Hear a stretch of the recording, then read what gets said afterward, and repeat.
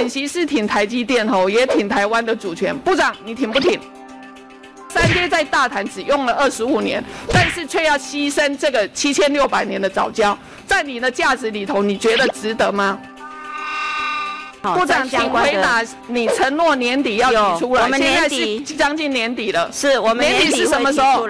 十月底还是十一月底？我们年底一定会提出来。年底到底是哪一天？部长不愿意讲吗？还是你不知道？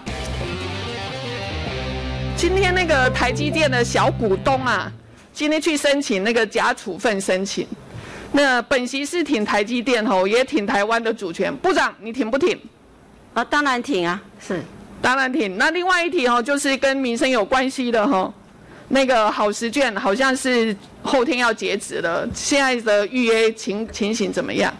呃，现在的预约呃，我的最新了解好像还有啊一万多可以来可以来预约的话，还是可以享有好时券的部分。好，因为这是民生都很关注的哈，尤其是台积电的这个小股东的今天的假处分，我希望。呃，部长跟全国都一起要来挺台积电哈。好，我们看下一页。那部长，你因为你的今天的报告当中，其实最近大家关心的是二零五零近零碳排这件事情，等于是能源会变变成是现在开始一个很重要的事情哦。那这个是我去呃金门的一个参观的一个地方。那呃，要实际上要是要给台电一个鼓励然后他们在金门做了两座的储能系统，那就去年呃五月十四号启用一一一座，那的第一期，第二期是在今年的一月十八，甚至整个金门岛呢，它在一个低碳岛里头。那里的居民大概百分之九成以上手上都有一个 app，可以随时看自己的用电哈。所以这样的一个储能跟一个智能电网的一个金门的低碳岛，它看起来是一个很好的示范岛哈。那这个示范的地方，部长你有没有想过如何把它移植到本岛来，到台湾哪个地方？你觉得下一步你会在哪里实施？还是台电可以回答？好，谢谢。我们确实对离岛哈，包括金门跟澎湖哈，我们都积极在推动。所以你的下一个是澎湖，就这个储能的。因为我觉得这个绿电还是我国很重要的一个发展哈，我还是要给台电一个鼓励。那下一个你们会的 demo 赛或者是移植到哪里会开始？是，包括这个金门是我们的一个示范岛。我们的智慧电网是在金门现在试做，这个我知道，我有去看过了。所以，我们台湾其实台湾，你觉得台湾哪个县市或哪个地方可以开始？呃，我们整个台湾全岛都在做。譬如说，我们的这个呃智慧电表，我们就逐步在做，从一百万具一直要提升到三百万具。我们还有很多储能，从五十九万，从二零二五年的六五十九万千瓦要提升到一百万千瓦。因为台湾毕竟有有一千四百万户的用户。我们必须逐步的来做，金门的户数是比较少的，我们从那边可以得到很多经验。好，谢谢。因为时间的关系哈，因为那就是我是觉得这个是做了一个很好的一个示范啊。我希望就是说在绿能上面要一直发展下去。我们来看下一页。好，讲到能源呢，本席支持三阶吼，但是本席反对盖在大潭上面，尤其是这个天然气，它只是一个过渡能源哈。那我今天没有要跟那个部长讨论一些实质的问题，我想只问部长一个价值的问题哈。这个三阶在大潭只用了二十五年，但是却要牺牲这个七千六百年的早教，在你的价值里头，你觉得值得吗？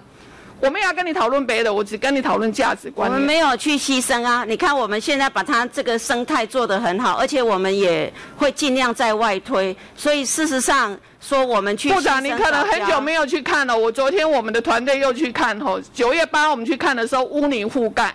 结果昨天去看，我们的同仁非常担心，上面的藻礁是不是已经快要死掉？不会不会，它本来在秋冬的时候哈。它因为这呃夏天会有台风，那秋冬的时候那个沙会慢慢慢慢累积，慢慢再退，所以它本来就是这几年我们中游每年都有在监测，那它的这个频率都是非常类似的。部长，我我想这个很很难得有一个七千六百年的早教，我们为了生态应该是好好的去那个保存它。我们也很遗憾你没有回答我的你的价值想法哦。下一页我们要来讲的，就是刚委员也有提到，就是说这个。能耗双控这件事情，吼，其实大家都在讲二零五零近零碳排这件事情。那我们我国的水价、电价甚至油价虽然是浮动，但是也是亚洲邻国最低价哈。我们的水价跟油油油价都是几乎都是全世界很低的一个价钱。那有没有可能现在开始，如果我们要来开始来关心这个呃二零碳排的问题，来关心这样子的一个绿能的问题？部长有没有一个想过以价质量的一个正确思维？我想是现在要开始的。我下一页。那上个会期呢？因为大家讨论最热烈的就是水价了，而且部长也也承诺哈，这个年底的水价呢，年底的开征的期程，年底要提出来。那距离年底现在只剩下一个多月哈，求一下部长，你的执法什么时候要公布？因为草案公布也要六十天呢。哎，我们对那个呃耗水费的部分哈，我们现在呃。水利署都有持续在北中南哈相关的收集意见。你承诺年底要提出来，我们年底将近年底了。是我们年底是什么时候？这个十月底还是十一月？年底一一定会提出来。是 那个草案公告就要六十天，现在来得及没有，我们现在有在跟呃大家呃收集意见。可不可以告诉告诉本席，告诉全国一个正正确的日子？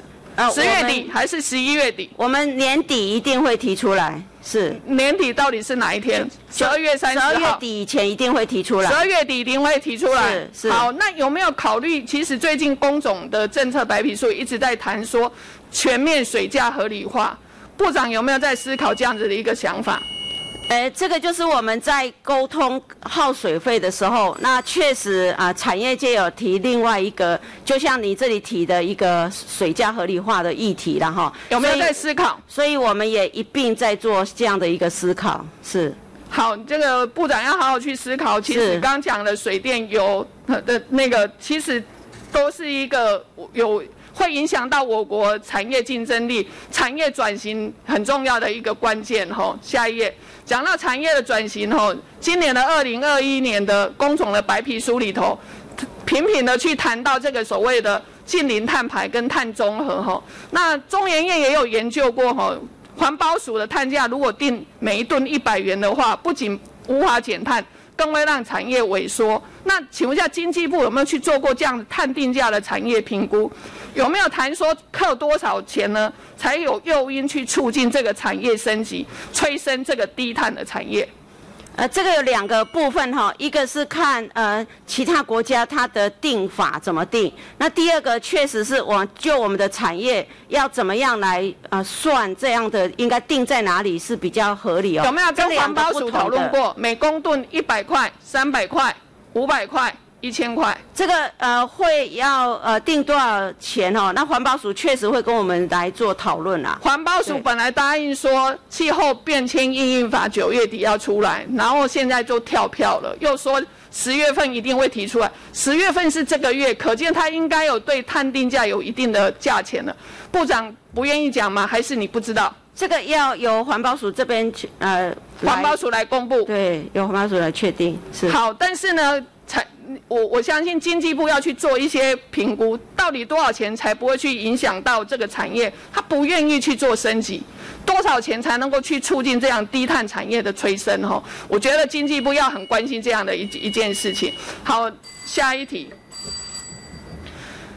部长，亚尼判决输了，可是却继续在挖，你觉得这个霸王条款？蔡英文总统也说，二零一九年呢要完成修法，已经跳票四年了。部长，你什么时候要把这个矿业法送进立法院？呃，两个说明哈。第一个，呃，雅尼其实从去年啊，我们就呃请他来做原民智商，他也已经在做了哈。所以第一个并没有说还没有修法，他就没有在做原民智商。那现在目前程序上在做。下一页。那第二个，第二个关于这个呃。我们呃也收到了这个部长，既然都已经在判决，你也在讲，都已经在是原敏的智商同意权都在做，为什么不把它法制化？有，我们看收到上个礼拜我们收到判决了哈，那我们会把这个判决的呃这一些的看法，虽然它是个案的见解了哈，我们也会把它啊考虑进来，作为我们修法的一个呃方向。还有，请部长这边吼，要请部长进一步提供，因为矿业局长来跟本席那个讨论的时候，有约有同意提供要原民智商同意权的办理情形的清单，就是各项矿业的名称、地点跟时间，还有矿业的一个清单。这个要请那个经济部能够提供这样的一个资讯送到本席的办公室，不然可以吗？哎，这个应该可以。好，请一个礼拜送到本席的办公室。是。